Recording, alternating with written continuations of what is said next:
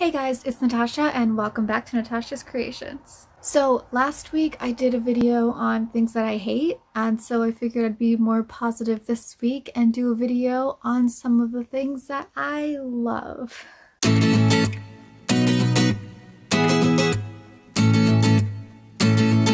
So the first thing that I love is the color blue. I have loved that color probably since I started learning about colors. Like I think I got this like 64 pack of crayons when I was maybe five that I actually still have because it was such a treasure to me that I preserved it really well.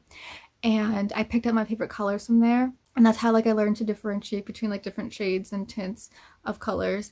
And blue green or green blue I think was my favorite. And then I learned that aquamarine was my birthstone which is also kind of like a bluish green. So I really love that color and that morphed into cerulean, which is my absolute favorite shade of blue. I think it's supposed to represent the sky, but to me it looks more like water, which is an element that I really like. And then also Cerulean City is Misty's gym in Pokemon, and I love the badge for the Cerulean City gym. And cerulean is my favorite color. But overall, anything blue I will enjoy. Next is s'mores. I think specifically I like chocolate covered marshmallows. The first time that I went to this big candy store in New York City that I don't remember what it's called, as soon as you walked in, there was this chocolate fountain with marshmallows and I dipped a marshmallow in chocolate for the first time ever. This was like in high school and it tasted like a piece of heaven and now I am obsessed with chocolate covered marshmallows and s'mores. I also like the whole bonfire aspect of it, roasting marshmallows and eating s'mores. A lot of my best memories were from bonfire parties, so I just really like s'mores. I also really love googly eyes. I like the whole idea of giving inanimate objects life and googly eyes do a great job of that. So yeah, I like sticking googly eyes on random things. It just makes me really happy.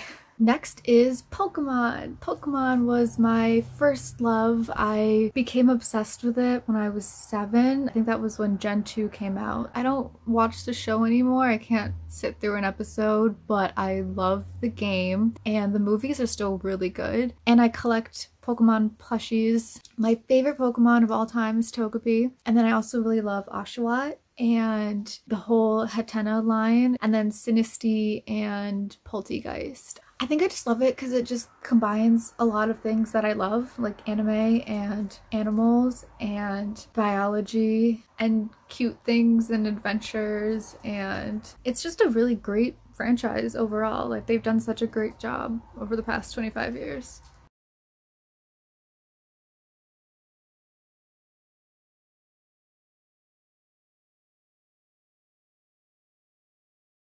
Speaking of which, another favorite thing of mine is animals. I am constantly finding new animals to obsess over, and I just love all animals and nature, and I'm hugely passionate about wildlife preservation. I have a whole list of animals that I would love to have as pets or at least see at some point in my life. And I'm super excited for the next season of Animal Amazement because I have some really cool random animals to talk about and some common ones. And uh, yeah, I'm just really excited. Speaking of things on my channel that I love, history and culture, I'm really into the Victorian period and ancient Greece. I love Greek mythology and the whole like culture of Athens and Greek life is really interesting. Same with Victorian times. I think I mostly like Victorian times for their stories. Like a lot of classics came out of the 19th century and there was just this magic of that time, like secret gardens and fairy forests, and technology was advancing really rapidly, so people were struggling with the balance between modern life and classic life, I guess. And I think that's where steampunk comes from. And there was just a lot of imagination, like time machines and just the possibilities were endless during that time. And the 1920s, obviously, I did a whole video on that. I think to me, the 20s just represents this weird type of freedom and this kind of like carefree attitude, even if it wasn't really what was going on at the time. Next is tiny things inside little things, like this little tiny box. When you open it up, it's got a little key in it.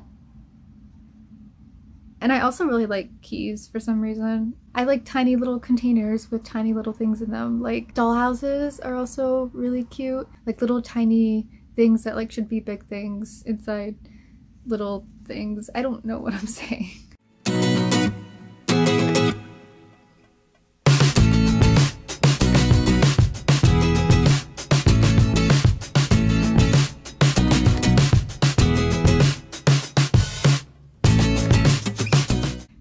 Of things inside things, I also really love eggs. Probably has something to do with what I just talked about, like little dollhouses and things being kept inside them, or maybe it's just the whole mind blowing concept of life being inside this tiny little sphere. But I think it's also why Togepi is my favorite Pokemon, and I really like Gudetama. And those like Russian, really decorative eggs that become really popular around Easter and you can like open them and also put things inside them. And then I also really like stuffed animals. I think as an adult, I have a right to a stuffed animal collection. And I've also been incorporating stuffed animals into my art a lot. I think it's a really cool reflection of life in a way. And they're also just really comforting and I like holding on to plushies, um, especially if I'm anxious. It's just a good way to calm me down.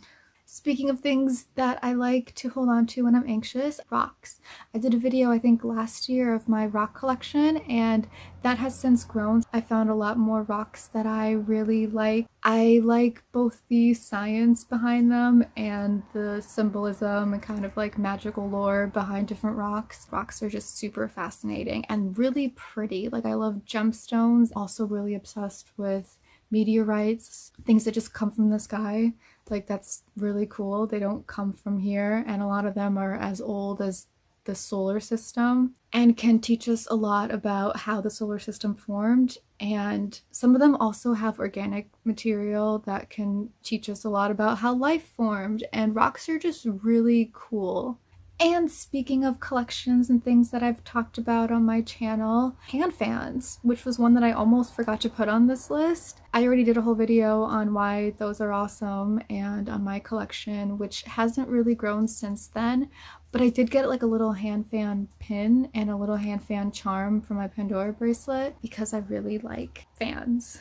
I like the whole history behind them and they're just fun to play with, like opening and closing them. I could do that just mindlessly as a little fidget toy for hours. And they're functional. Like I use my fans in the summer all the time. And they're just super pretty to look at. Like the designs and the paintings on some of them are just really intricate and beautiful and amazing. Also the arts, all of them. I love theater and music and art in general and crafts. I also really like science, but I think art is my main passion. And I'm really excited to make more of like my history and culture videos focusing on the arts. Art is my thing and you should check out my art Instagram link below. I'm also going to talk about keys because I made a key necklace and I really like keys. I think I like the kind of like mystery and like intrigue of like a skeleton key. There's something kind of just magical about it. I feel like keys are really symbolic. Also, the whole concept of like owning something, like it's a key to something that you own, like a car or house. Keys give you access to something valuable. So all of this talk of keys and blue and stuffed animals reminded me of this little Steiff Tiffany teddy bear that I just got. It's really cute and I've decided that I really like Tiffany even though this is the only thing I could probably afford from there. And Tiffany's also has that whole line of key design jewelry and keychains so. So now I'm just gonna gush about Tiffany's. Besides everything I just said they also have a line of animal themed jewelry and 100% of their profits goes to wildlife preservation. And they have a line of tactile jewelry which obviously I would love if I could afford. And they work with really great designers like Picasso's Daughter, which is a piece of history, which is also something that I love. And their diamonds are ethically sourced, which is also something that I appreciate. And they work with stones, which are rocks, which I also love. So I think I'm adding Tiffany & Co. to the list of things I love.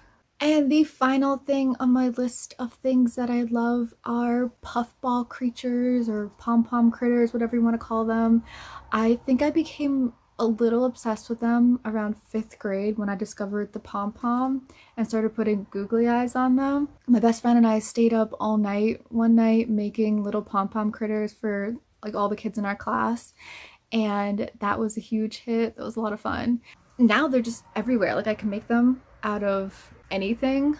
I've made a few. Pygmy Puffs are really big because of Harry Potter and Fantastic Beasts. And Worry Pets are also like a type of little pom-pom creature, little puffball critter. So they're just really popular. I think they're always going to be popular. And I love them. They're just so fuzzy and adorable and soft and cute. Also, hamsters are just like little, little puffballs and some puppies and kittens are also little puffballs and it's just the best. Hey, I'm doing the future Tasha thing again because I forgot pirates. I love the whole pirate aesthetic and the lore and sea shanties are fun and Pirates of the Caribbean. Johnny Depp is my favorite actor of all time. And my favorite pirate of all time was um, Sam Bellamy. I really like his story.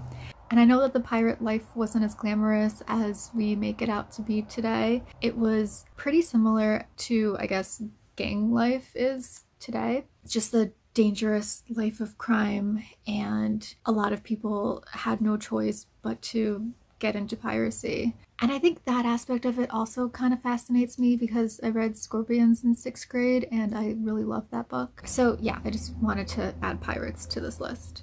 So those are all the things that I love. There's probably more that I forgot, but that's the list that I have for now. So thank you for watching and please subscribe and if you like this video, like it. Tune in next week for, I think I might be doing a story time. So yeah, subscribe. Thanks for watching. Bye.